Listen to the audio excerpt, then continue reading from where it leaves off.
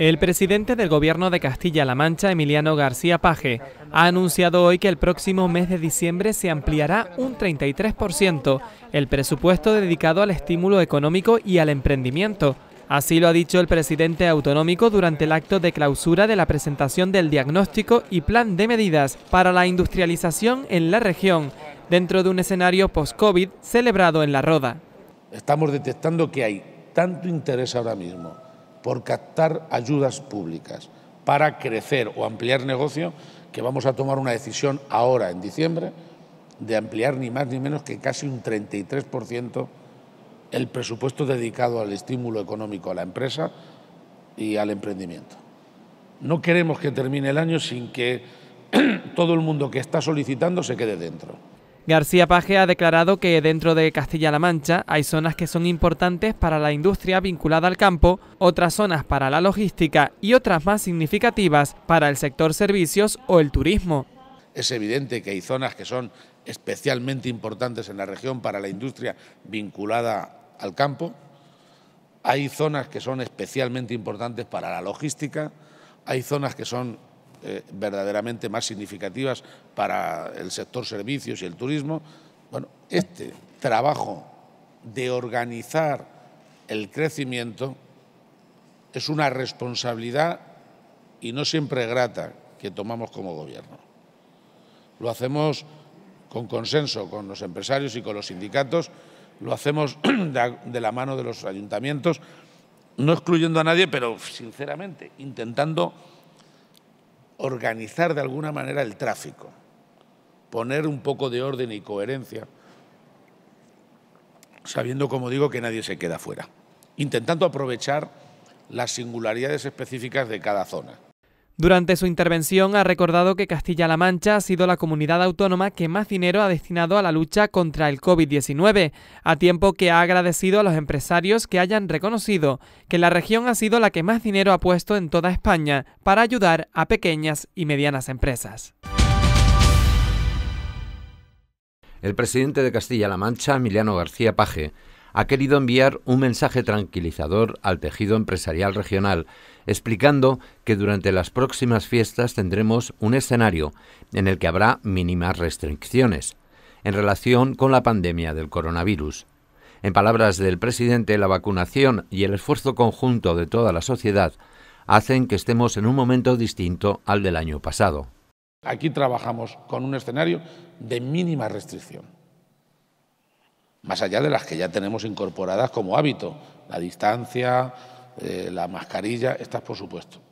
Pero entre la vacunación, que va muy bien, el esfuerzo sanitario y la prudencia que en general ya mantiene la gente como hábito, creo sinceramente que podemos vivir momentos de, de atascos, de embotellamientos en las carreteras, pero ya sabemos que esos atascos no comportan accidentes que es la gran diferencia con la primera ola y con la segunda.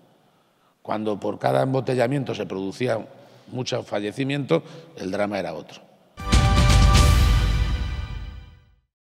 La cultura de la solidaridad y el espíritu de compartir es importante para la lucha contra la pobreza, y eso lo saben muy bien en la ONG El Socorro de los Pobres décadas de ayuda a los más necesitados que se plasman en los repartos que periódicamente realizan en la Bajada de San Martín número 6 de Toledo. La gente que viene a pedir eh, es constante durante todo el año.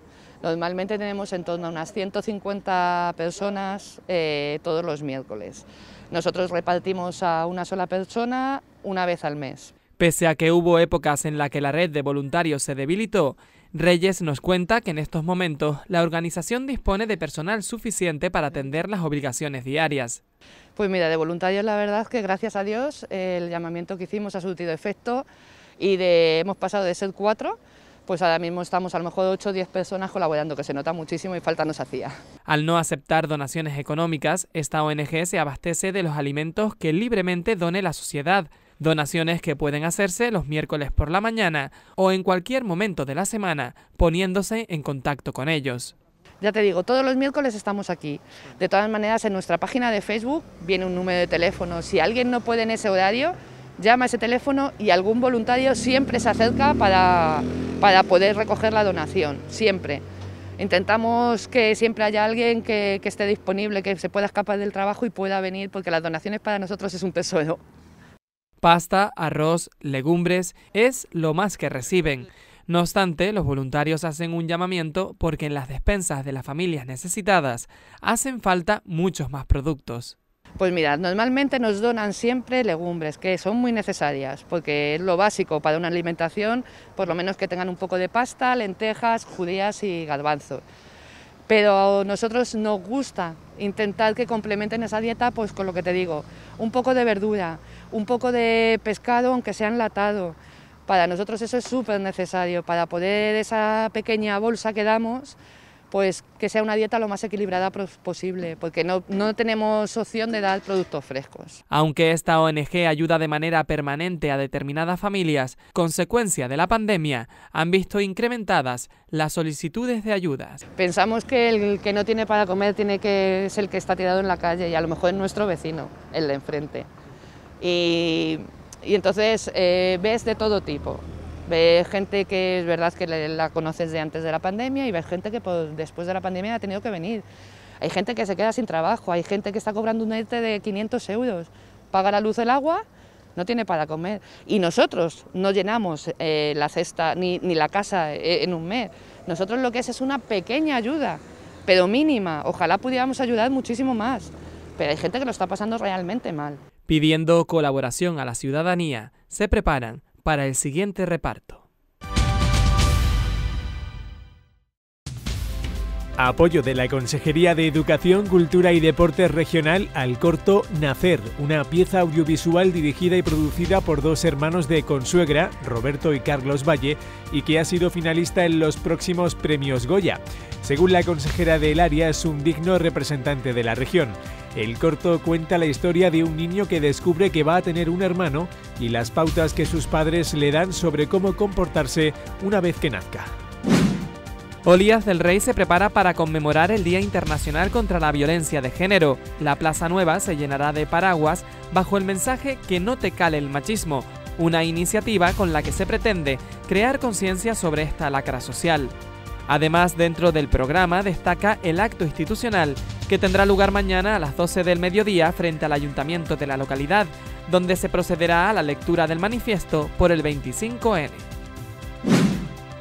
La Guardia Civil, dentro del marco de la Operación Montiel, ha procedido a la detención de 15 personas pertenecientes a una organización criminal dedicada al tráfico de drogas a nivel europeo.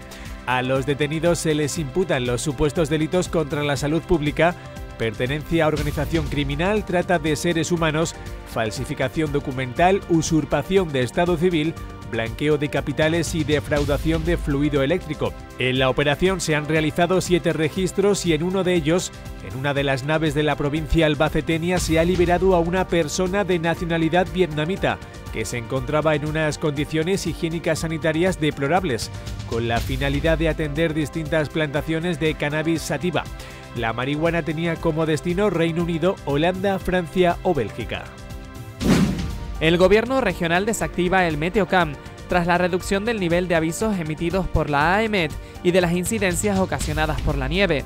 Durante los dos días de activación del plan específico ante el riesgo por fenómenos meteorológicos adversos, el Servicio de Emergencias 112 ha registrado un total de 38 incidentes, las precipitaciones en forma de nieve han provocado algunas dificultades en la circulación en determinadas carreteras de Cuenca y Guadalajara, además de la suspensión de algunas rutas escolares ayer martes. Distintas autoridades se han dado cita hoy en la Plaza de la Constitución de Vargas con motivo de la inauguración de la muestra itinerante Un Patrimonio de Todos. La alcaldesa de la localidad, Isabel Tornero, ha recibido, entre otros, a la viceconsejera de Cultura de la Junta de Comunidades, Ana Muñoz, al presidente de la Diputación de Toledo, Álvaro Gutiérrez, y al director del Comité de Fundaciones del Grupo Iberdrola, Ramón Castresana. Acompañados de vecinos, visitantes y resto de autoridades, se han dirigido al Salón de Plenos del Consistorio Bargueño, donde han tenido lugar las declaraciones. Hoy es un día muy especial para Vargas y es un día muy bonito para Vargas, a pesar de las nubes que nos acompañan, porque estamos en un acto que creo que es muy importante, que es el de la inauguración de esta exposición que muestra una parte significativa de nuestro patrimonio común. un patrimonio que nos une a todas las provincias y poblaciones de Castilla-La Mancha por su riqueza y su diversidad. Tornero ha añadido que no hay que salir de nuestros municipios para poder apreciar gran parte de la riqueza que atesora España. Del mismo modo, la alcaldesa tuvo palabras de agradecimiento para todos los asistentes al acto porque serán ellos, además de los medios de comunicación, los que harán de portavoces e invitarán al resto de la ciudadanía a que acuda a ver la exposición. El presidente de la Diputación de Toledo, Álvaro Gutiérrez, añadió que esta muestra funciona como elemento de autoestima para sentirnos orgullosos de nuestro pasado, presente y futuro.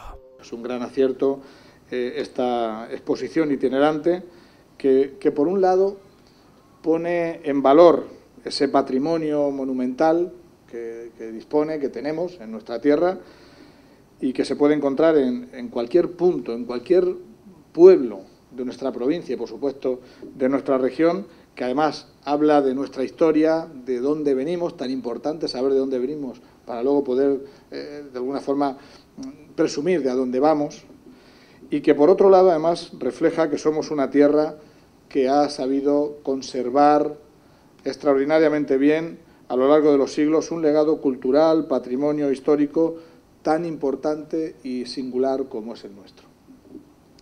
Esta exposición, además, nos sirve como elemento de autoestima, como, elemento también potenciador del sentimiento de orgullo de lo que somos. Por su parte, el representante de la Fundación Iberdrola puso el énfasis en la apuesta decidida que desde la Fundación hacen por el arte y la cultura, no solo con acciones populares como la iluminación o restauración de diferentes edificios históricos, sino también apoyando iniciativas como estas en las que se acerca la cultura a la población. Es un área de arte y cultura en la que estamos muy bien reflejados en esta, en esta exposición pero que no solo liga eh, nuestro compromiso con la conservación del arte, la iluminación de, de elementos arquitectónicos, de restauración de bienes de interés cultural que tenemos en nuestro patrimonio nacional, sino también cómo acercar la cultura a todos los ciudadanos. Cerró el turno de intervenciones la viceconsejera de Cultura de Castilla-La Mancha, Ana Muñoz, explicando que por el momento, tras pasar por distintas localidades castellano-manchegas, más de 20.000 personas han visto las 40 fotografías que conforman un patrimonio de todos. Esta exposición, como decía Álvaro, comenzó su andadura en Jadraque allá por el 25 de junio y decidimos pues, que fuera a dos localidades por provincia. Estamos justo en el ecuador de esta, de esta itinerancia y por eso os digo que estamos encantados porque han sido más de 20.000 personas las que han visto esta exposición. Imaginaros la dimensión tan grande que está teniendo el patrimonio de nuestra, de nuestra región, porque el patrimonio hay que enseñarlo y hay que enseñarlo también eh, bien enseñado. Junto al autor de la práctica totalidad de las imágenes expuestas, el bargueño David Blázquez, las autoridades inauguraron los paneles que podrán observarse hasta el 14 de diciembre frente al Ayuntamiento de Vargas. En un patrimonio de todos se pueden contemplar una selección de importantes joyas del patrimonio cultural de la comunidad autónoma.